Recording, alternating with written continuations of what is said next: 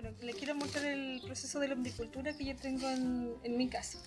Eh, estoy usando dos cajas de 40 por 60 centímetros aproximadamente. Las cajas fueron reutilizadas, de, eh, las encontramos por ahí y las quisimos reutilizar para las lombrices. Tengo una caja encima de la otra.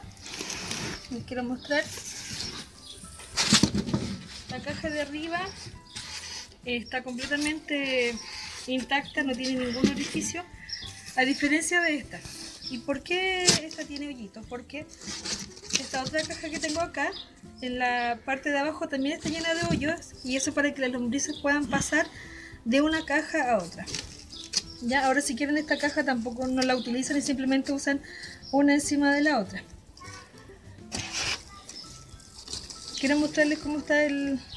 Esto ya es humus. Ahora lo que tengo que hacer es dejarlo secar esto tiene aproximadamente entre 8 a 10 meses, por lo tanto es un proceso eh, extenso, pero que vale completamente la pena. Si se fijan, como esto ya está casi seco, vamos a encontrar muy pocas lombrices. Vamos a ver la, la otra caja, que aún está en proceso, y va a tener muchas más lombrices. Esta es la lombriz como decía, californiana, que es una lombriz especial para la lombricultura porque es una eh, lombriz que acostumbra a vivir con otras lombrices sin mayores problemas. ¿Ya? Voy a mostrar esta otra caja. La última vez que le puse comida fue alrededor de un mes. A pesar de que, bueno, igual esta caja tiene bastante tiempo también, pero vamos a ir escarbando, nos vamos a encontrar probablemente con muchas más lombrices. Miren, ven la diferencia de esta caja con la otra. Hay muchas, muchas lombrices. Y como vemos viven en comunidad sin ningún problema. Esta caja tiene el resto, todos los desechos vegetales de su hogar, excepto eh, yo evito echarle cáscaras de cítricos en general, naranjas, mandarinas, limones, restos de cebolla. Aquí por ejemplo se puede ver que están los hoyitos por los que las lombrices pasan de una caja a otra. De hecho aquí podemos ver que hay unas lombricitas que se pasan de una caja a otra. entonces esto cada cierto tiempo lo vamos a mover, vamos a revolver, vemos, miren la cantidad de lombrices que tenemos. Entonces vamos a revolver todo lo que tenemos acá para que las lombrices puedan seguir haciendo su trabajo sin mayor problema. Un poquito, ¿verdad? Y vamos a volver a colocar comida. Yo aquí tengo lechuga, resto de lechuga, de cáscaras de, de eh, zapallo italiano, tomate. Como les decía, los desechos orgánicos en general que ustedes tengan en su casa. Solamente que tener precaución de no echar cáscaras de cítricos ni de cebolla. Y así ustedes van agregando los, desechos, los desechos orgánicos de su casa y los vamos a convertir en humus. Ahora, un dato súper importante ahora que viene la época de calor es evitar que nuestras lombrices se sobrecalienten porque pueden morir. ¿ya? A mí una vez me pasó que eh, cerré herméticamente la caja, así, y era un día de mucho calor.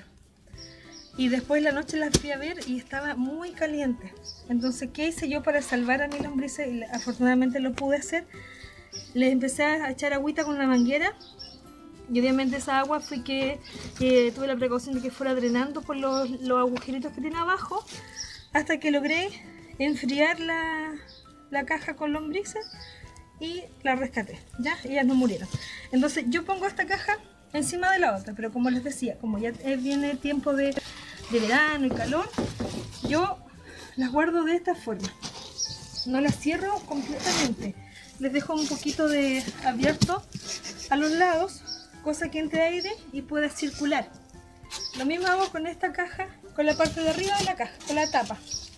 La dejo así y a veces le coloco, como esto es liviano, plumaví, viento fuerte la puede botar, entonces le coloco una tabla encima y no hay problema. Entonces, eh, como les digo, precaución, tiene que estar en un lugar eh, fresco, a la sombra y tomamos esta precaución para que evitar que nuestras lombrices se sobrecalienten y vayan a morir.